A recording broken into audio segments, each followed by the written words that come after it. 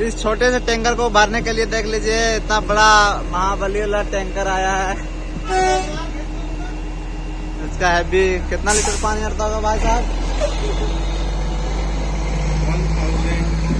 ये देखिए, ये यहाँ के इंजीनियर साहब है, यही बोल रहे हैं। हाँ? कितना वाटर आता है।